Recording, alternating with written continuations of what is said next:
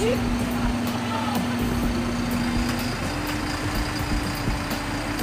ini bisa di pinggir ini nih, mobil terbang.